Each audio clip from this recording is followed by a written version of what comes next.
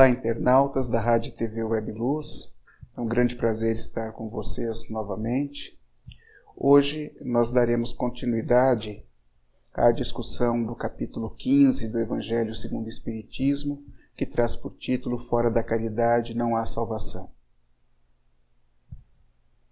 Havíamos dito que Jesus nas bodas de Canaã, não permitindo que o vinho faltasse, elucidava a Pedro, que o havia questionado sobre a possibilidade de que, através do que Jesus havia feito, viesse estimular a gula e a embriaguez, e Jesus atende Pedro explicando da melhor forma possível que, na verdade, o que ele buscava fazer era atender aos amigos naquilo que pudesse ser interpretado como sendo uma antecipação referente a problemas emocionais que poderiam se dar pela falta do vinho.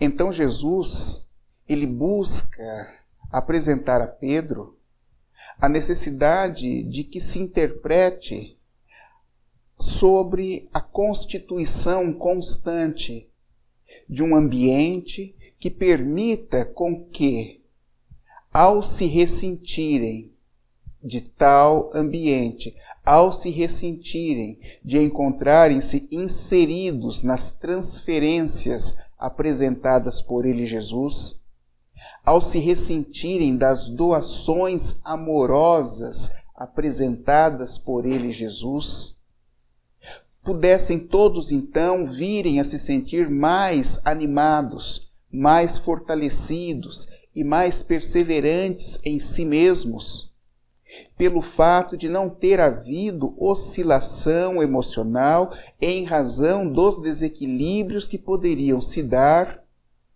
por uma interpretação equivocada do processo, no caso, ter faltado o vinho.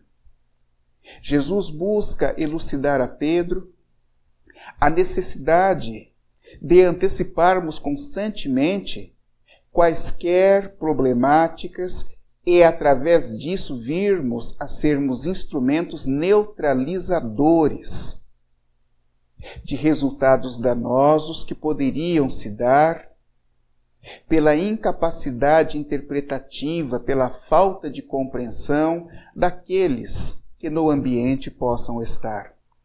Então Jesus vai dizendo a Pedro sobre como realizar a caridade não na interpretação que se tenha do que tenha que ser feito, mas sim de como fazê-la. Porque o como é aquilo que se encontra envolvido anteriormente nas intenções que se tenha e cujas intenções geradoras de bons pensamentos acabam então deflagrando atos bons apresentações boas, demonstrações boas, que contagiarão no bom sentido, que contaminarão no bom sentido o ambiente, fazendo então com que todos aqueles que lá estejam possam se ressentir beneficamente de tais estruturas apresentadas.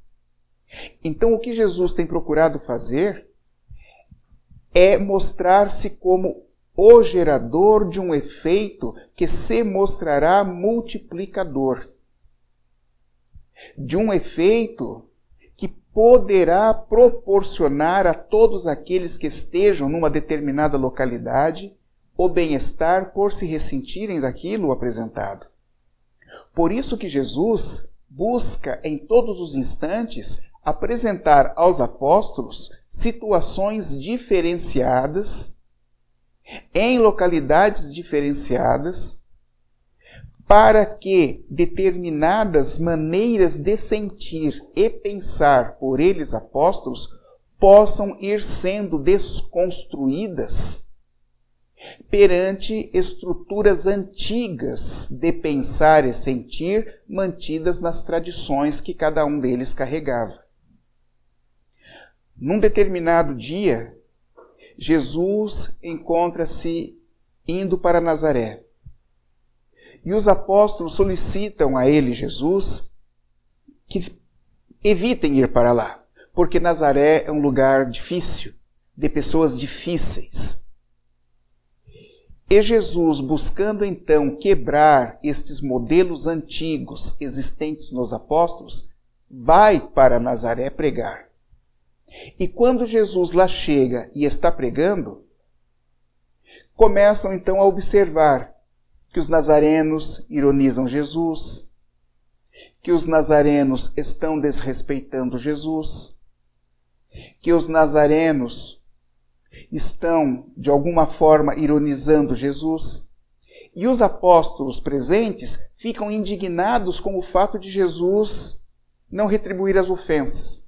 Eles ficam indignados com o fato de Jesus não revidar.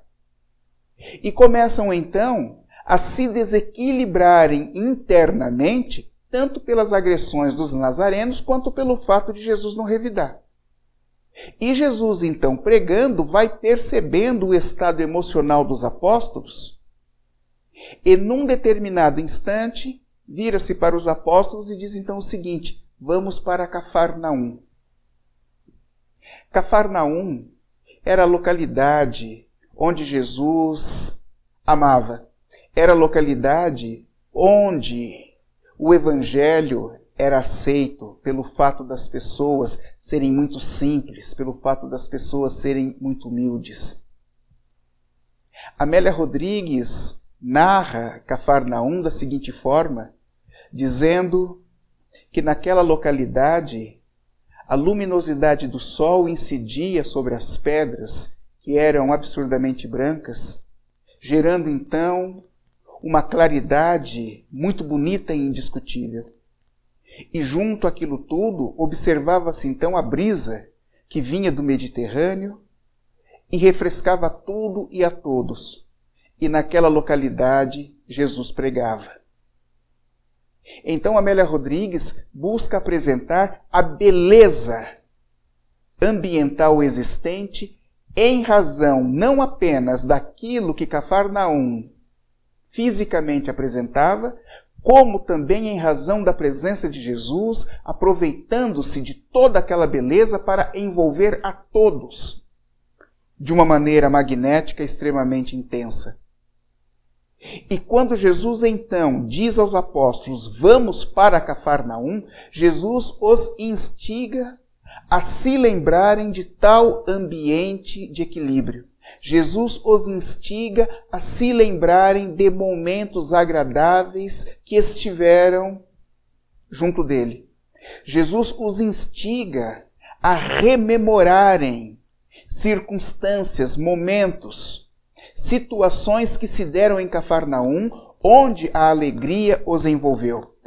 O que é que Jesus faz? Ele muda o panorama mental de todos os apóstolos que se encontravam fisicamente em Nazaré. A sensação de mal-estar, a sensação de desequilíbrio interno é automaticamente mudada pelo fato de Jesus os inserir no ambiente de Cafarnaum. Então Jesus aproveita este instante para ensinar-lhes sobre processo de caridade, porque Jesus sabia que não ficaria no físico por muito tempo e que os apóstolos dariam continuidade ao seu trabalho.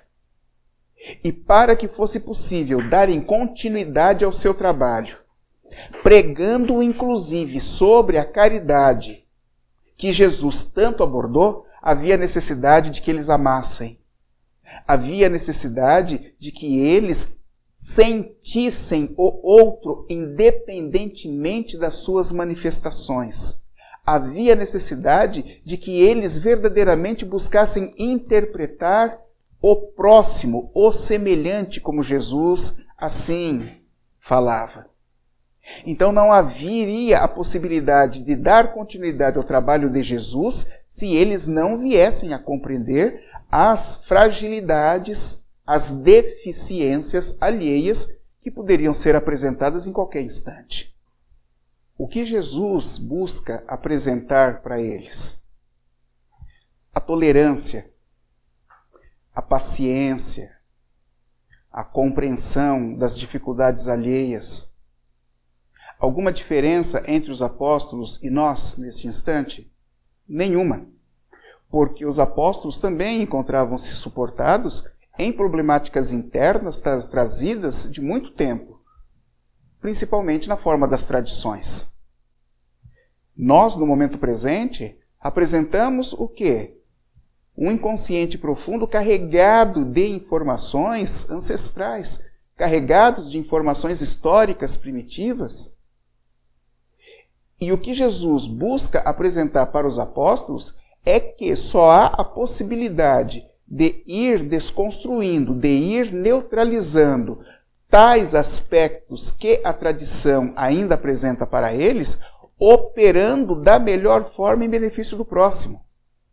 Então Jesus apresenta para os apóstolos que o próximo, o chamado por ele semelhante, é o grande instrumento dissolvedor das estruturas tóxicas mantidas e carregadas internamente na estrutura emocional de cada um deles. Alguma diferença entre os apóstolos e nós? Nenhuma. Nenhuma. Por isso que Jesus tem se esforçado então no que? Em exemplificar.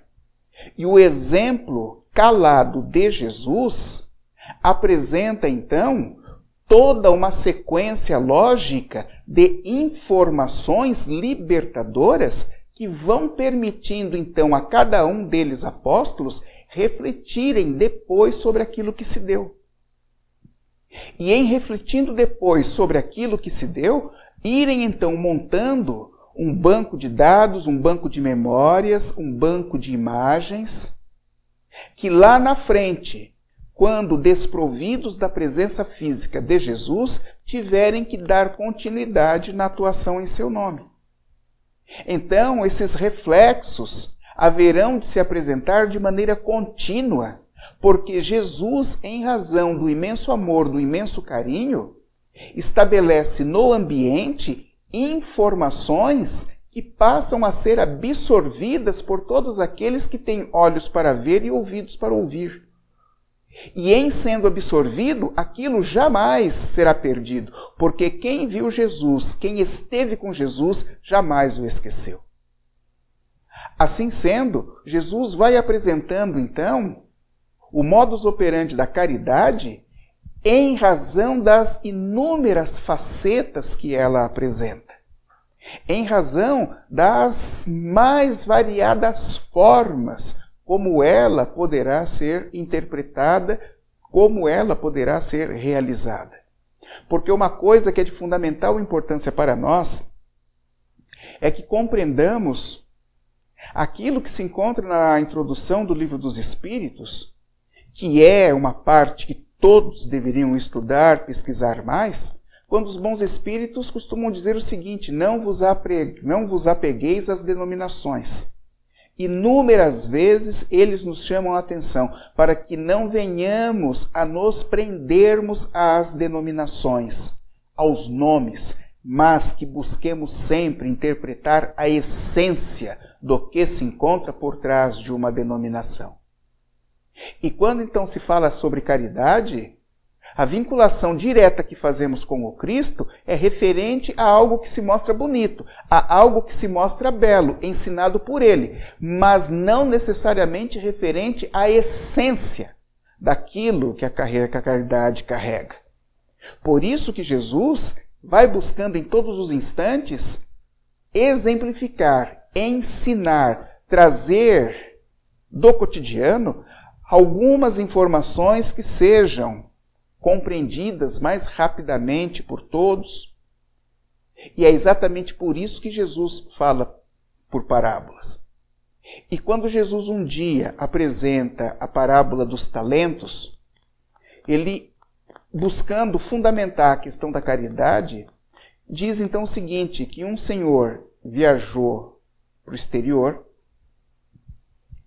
e, em viajando, ele deixa cinco talentos com um empregado, dois talentos com um outro e um talento com um outro empregado. Então, os três empregados estiveram envolvidos na confiança que aquele senhor lhes depositou. E passado muito tempo, esse senhor retorna de viagem e vai cobrar então àqueles a quem tinha dado os talentos um posicionamento. O primeiro que recebeu cinco vira-se para o senhor e diz o seguinte: que aqueles cinco ele investiu, ganhou mais cinco e estava devolvendo todo o montante para aquele senhor. E o senhor, então, contente pelo procedimento do funcionário, diz que se foi possível confiar-lhe o pouco, poderá confiar-lhe o muito. No segundo funcionário, ele diz a mesma coisa, que os dois que ele havia recebido, ele investiu e ganhou outros dois e está prestando contas para o Senhor naquele instante. E o Senhor diz a mesma coisa, que se pouco foi confiado a ele, poderá lhe confiar também o muito. E no último, o último diz então que, sabendo que aquele senhor era severo, sabendo que aquele senhor ceifava onde não havia plantado, por temor, enterrou o talento e agora estava restituindo o mesmo talento, o mesmo denário para aquele senhor. E o senhor, enraivecido, então diz o seguinte: que ele deveria ter investido igual os outros fizeram. E que, na verdade, ele é um mau servidor, porque não se preocupa com os bens que lhe foram confiados.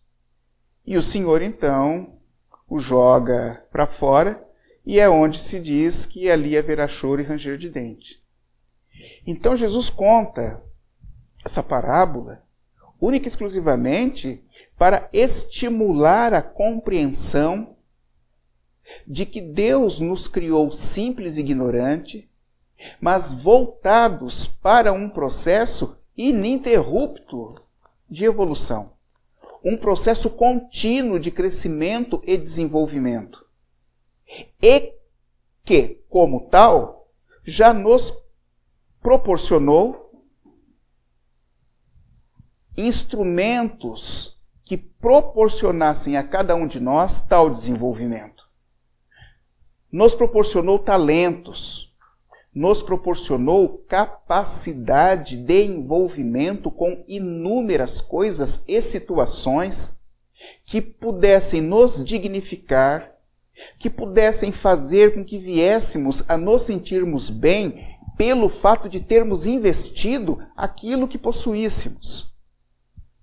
Nos proporcionou, nos preencheu de instrumentos que viriam a nos proporcionar alegria pela capacidade de realizar, pela capacidade de fazer, pela capacidade de apresentar.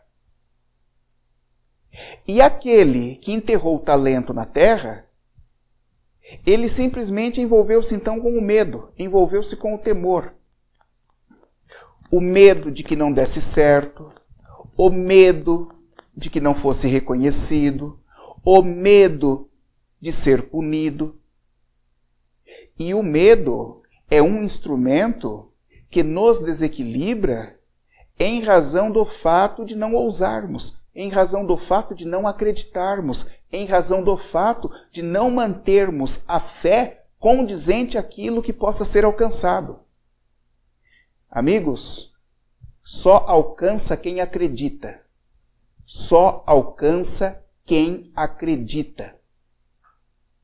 E providos então de talentos proporcionados por Deus, acreditando, não haverá como não conseguirmos, não haverá como não alcançarmos, não haverá como não fazermos a caridade em razão daquilo que possua, daquilo que tenhamos, daquilo que venhamos a possuir.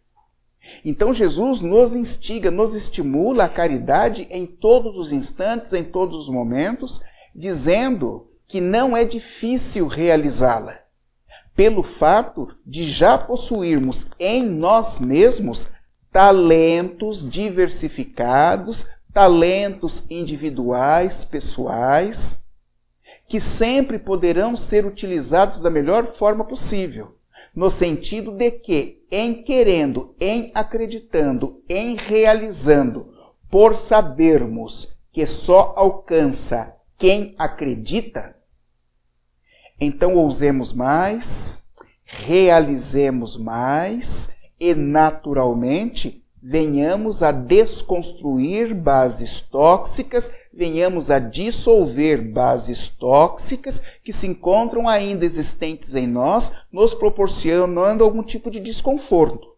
E, naturalmente, sentindo-nos melhor, pelo fato de acreditar em Jesus, pelo fato de mantermos a nossa fé nele, é que então interpretaremos sobre o porquê de vir a nos dizer em todos os instantes que eu sou o caminho, a verdade e a vida, e ninguém irá ao Pai senão por mim.